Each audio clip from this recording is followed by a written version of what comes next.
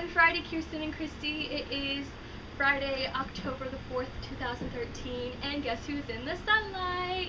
Me! Um, yeah, this is probably the first time I've been in the sunlight. Ever. No, I'm just kidding. in the videos. And, um, it is gorgeous out. It is certainly not fall, let alone October. This is crazy. This is crazy weather. I'm sweating up a storm right here. I'm out of my element, I think.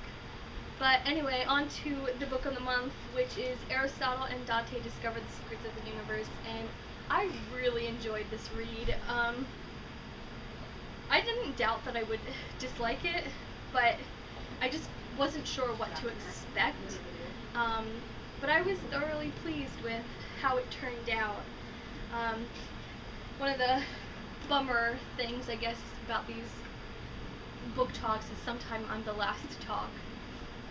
But I guess so are you sometimes. But sometimes I don't know what to talk about since you guys talked about things that I wanted to discuss. But um, overall, how it was written, I enjoyed it. It made me, and correct me if you guys don't think this way, but it seemed like multiple episodes of um, the Gilmore Girls and just the banter back and forth between uh, Lorelai and all the other characters. It's just it's very quick and it's I don't know it's quick paced and I enjoyed it and it really is just in a way banter and fun and interesting conversation just back and forth.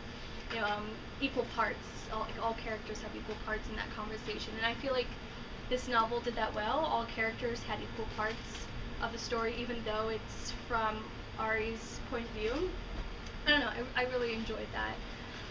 Um, besides that, I actually would like to comment on the whole role of the parents, which both of you have brought up. And I, at first, I was confused by it because it's something you don't see that often. I kept saying, well, that's not real. Parents don't act that way. But, you know, maybe just because my parents don't act that way or people that I know whose parents don't act that way doesn't mean there's there aren't pe- uh, people like that, aren't parents like that. And I thought it was really nice to see that for a change, especially since, as one of you brought up, parents are usually dead in most stories or just not there. And um, it was it was nice to see that they were very present in their children's lives, and that their children had positive outlooks on their parents. So that that was very nice. Well, for the most part, positive. You know, even though Ari Ari was trying to form that bond and understand his father, he still had a good understanding of him in a way and a respect for him. His understanding was in understanding that he wasn't going to understand him. If that makes sense? Yeah, I don't know. it makes sense in my head, but I don't know.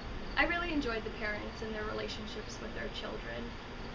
Um, Ari and Dante as a character were so fun to read about. I thought they were so adorable and I don't know what about you guys, but it was a twist for me that Ari and Dante got together.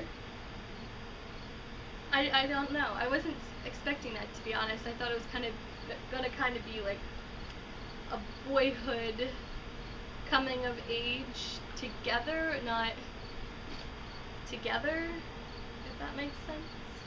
But either way, I really enjoyed it. I thought they were so adorable together. So I, I loved just how they talked to each other. It was really cool. Well, not cool, but it was really nice to see that and see their relationship form. Um, besides that, I enjoyed being in Ari's head. I feel like there's not many characters in other stories like him. I feel like he's someone that is set in his ways by not having a way, if that makes sense. Like he doesn't know where he's meant to be. He doesn't know where he's from, let alone where he's going. And it, it, at first he was set and not. It, at first he was accepting that he had nowhere to go, and he was accepting that he wasn't going to get an answer from his parents about his brother or about his father being in the war but through his relationship with Dante, he really is able to discover, discover different things. So I enjoyed it overall. I, I mean, overall, I would give it a four out of five stars. I can't quite pinpoint why I took away a star, but um, I don't know. I enjoyed it. So I guess that's all that mattered. I, I would recommend it. Um, besides that, I, I marked a few quotes that I I would like to read to you guys if I can refine them. Um, this was right after he was. Think this was right after he. Uh, excuse me. Ari um, had pneumonia. Was it pneumonia? Or the flu? I'm sorry, the flu. And his father was had just, you know, was rocking him and was just about to leave the room. And it says, my my father was still there, sitting on my rocking chair. We studied each other for a moment as I lay in bed. You were looking for me, he said. I looked at him. In your dream, you were looking for me. I'm always looking for you, I whispered. And that made me tear up a little bit because in, it's pretty, well, it's 63 pages into the book, and already you could see the disconnection between father and son, and I don't know, it just made me upset. And I wanted to see that connection, that bond, that relationship grow. Um,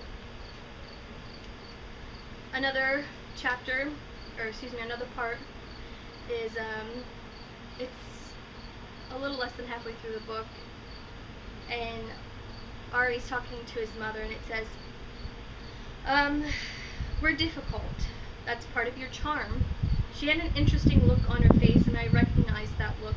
My mom. She some, sometimes resided in the space between irony and sincerity. That was part of her charm. I like that. I love his. I love Ari's relationship with his mother. That's oh, that's amazing. And another one. This was when Ari and his father was going to Tucson to visit his. Well, his his aunt had just passed away, and he's going to, you know, deal with that situation. And it says, "I was so ashamed." For having kept her on the margins of my memory, I was so ashamed. Just the idea of calling it the margins of my memory, just the ends, knowing that it's whatever you're thinking about is still there, still present, but it's on the margins like a page, and we're reading a book, and it's like him writing in his journal essentially, his diary that he kept throughout, and you saw thing, his pages throughout. I don't know. I thought it was a sweet way to put it. So those were just a couple of them. There were more, but those are the ones I thought you might like to rehear. Well, I'm going to have Earl, who's standing in the background, turn that off for me because I'm rambling again. I will see you Monday, Christy.